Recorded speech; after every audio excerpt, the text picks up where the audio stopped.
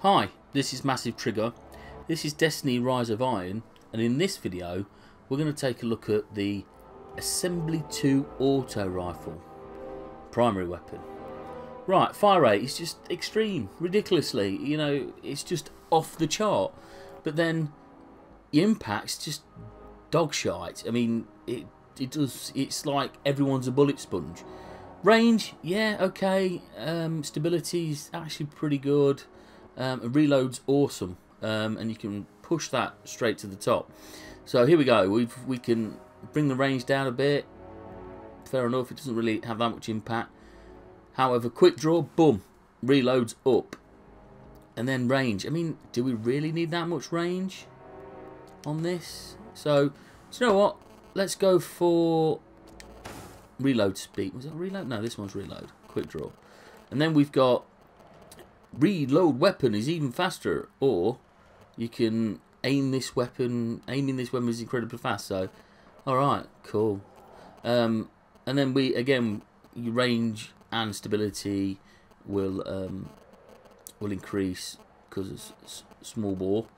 Or let's go for crowd control. Let's push up the reload again and see what it's like. Um, and then yeah it becomes more accurate as it's fired so there we go. So there it is. Um, yeah I love this new little styly bit. They look pretty cool but let's see what it's like out there let's go and uh, shoot some shit.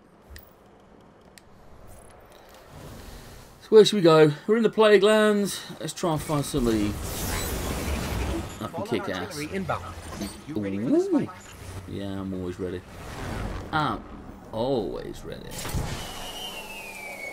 So, let's see if we can find somebody. As you can see, like you say, I mean, I like a little bit more punch with my gun. Uh, ooh. Shit. So yeah, I'm, yeah, reload's awesome. Look, but you know, there's no no real way to increase the impact or whatnot. So ultimately, it just feels like a bit of a, you know, yeah, we have enough fun bullet sponging people anyway, and to be honest, it's just, you know, it's one of those ones that once I've done this review, it's just going in the bin. To be fair. Um, I'm not sure. I mean, if you love what I mean, auto rifles have changed over time, and this just it just doesn't give me any joy playing it uh, with it. It's just you know, it's just nah, which is um, a shame really. But um, there you go. But sure, others will like it. I just find it a little bit ineffective. Um, doesn't suit my style so much.